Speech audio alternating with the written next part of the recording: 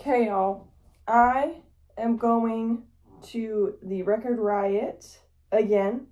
Um, I went to this last year and I only found three records, but I had a great time. And since my birthday was on Friday, I thought this would be a fun little birthday outing. So I packed my sling bag. I think this is what I'm going to wear. It's just way more comfortable. That way my money and everything is right to my chest. And I have a tote bag. I got this tote bag at TJ Maxx and I've been wanting a tote bag that would fit a record to take when I go thrifting and flea marketing.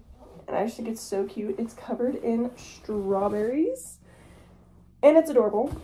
So very, very excited about that. Also, my hair has changed. It's an adjustment. I feel like I like it in real life, but I don't like how it looks on camera. I'm gonna finish walking my dogs and get ready for Miranda because she's coming with us.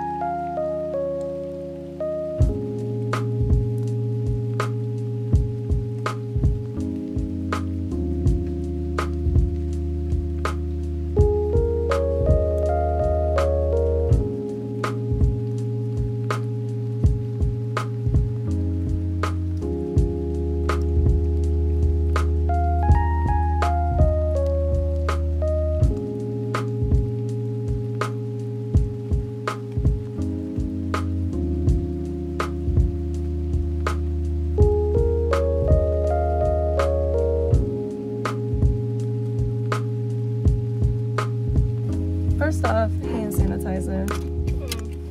Hand sanitizer. You guys, we have a full bag this time. I'll have to sit down at home and show you guys everything that I got. I still have like a hundred dollars, so I'm pretty proud of that. I went in there with the intention of spending money.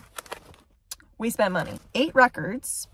One was a pickup for a friend, and two were pickups slash our collection for my husband because he's been wanting them on standard black to just play and not worry about like condition wise. So they had the two albums that he's been wanting in black, which was perfect. And I found one thing that was on my want list. Random, I know, Sons of Anarchy. This is volumes two and three.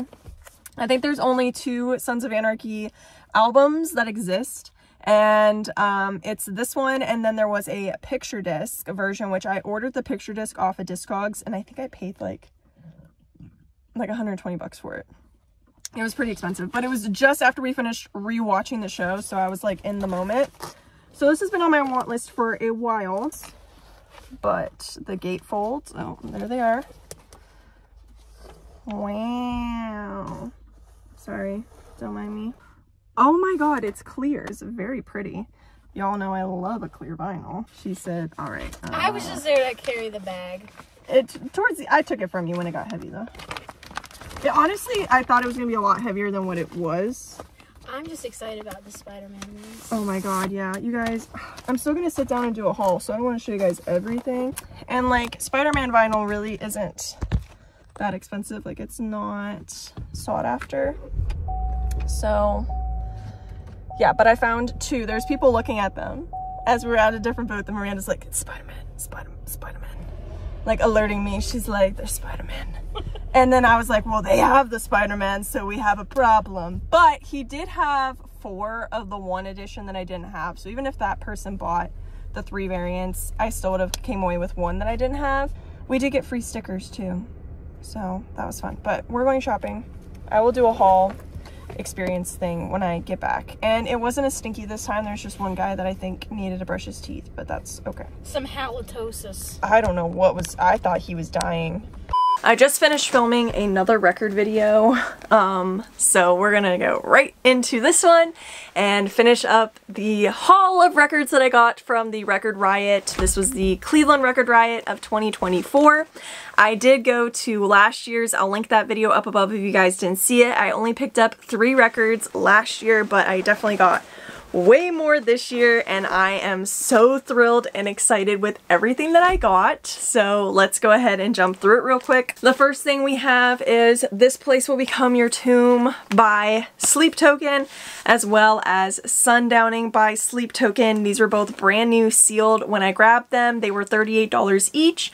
I did open them with my husband to see if by chance they were a colored pressing but they are both standard black and these are for him to have because he wanted wanted his own copies of these albums. Next up, I got Blonde by Frank Ocean. This was one that I wanted forever ago when it was like super popular and like cool to have this album, obviously.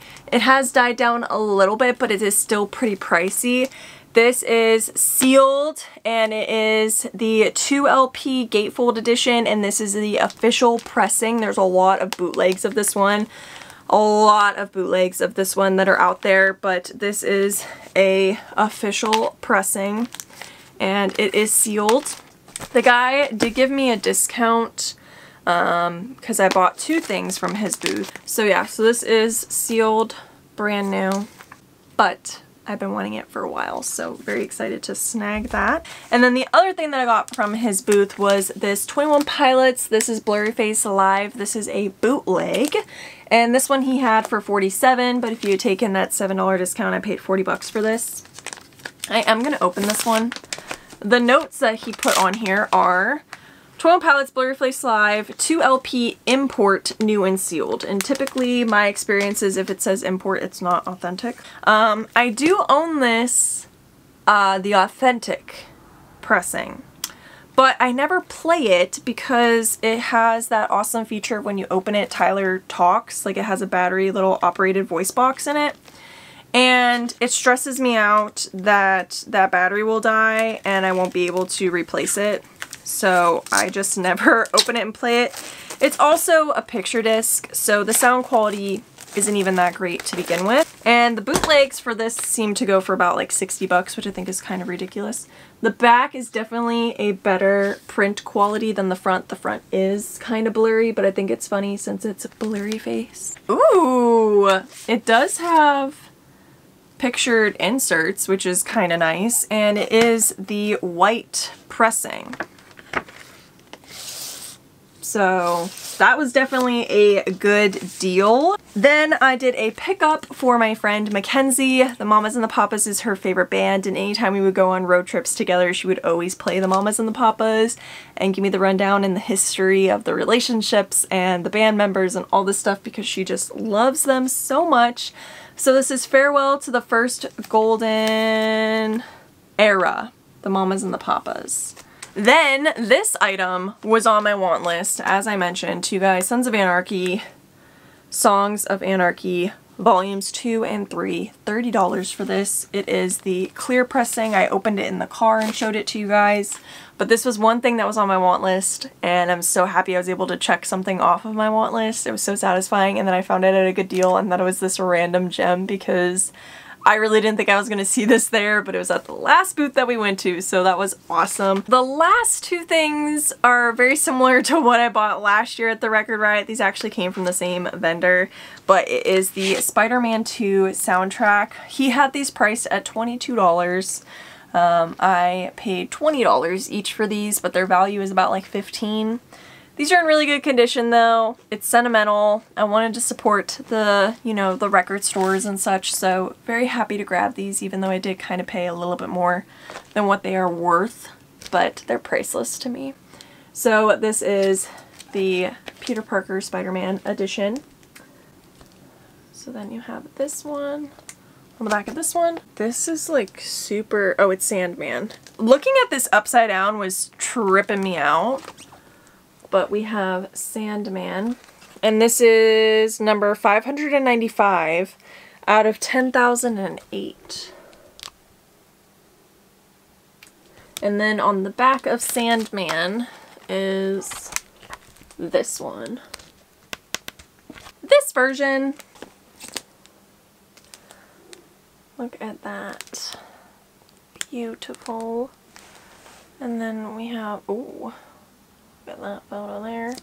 And this is 509 out of 10,008. The back of that one looks like this. So the only version I'm missing is the James Franco version, I think. That's the only one that I'm missing of this. I'm very excited to add those to my collection. So that is what I ended up picking up from Record Riot this year and since we were there super early and we paid the early entry, they actually gave us free passes, free early entry for next year. So I can go next year and not be like $15 in the hole because we'll have free entry passes. So look at this. So super excited about these. I'm going to go ahead and put these on my calendar so I don't lose them. And we also got some free stickers. But it was a lot of fun. I'm very happy that I went. Uh, I really enjoyed it last year. Even though I only walked away with three things, um, I definitely had a way better time this year. And going in early is definitely worth it because if you wait until it's cheaper, everybody is there and it's like body to body and it's just too much for me. So I'm very happy. Let me know what your favorite thing was that I picked up and I will see you guys again very, very soon. Peace out, Girl Scouts.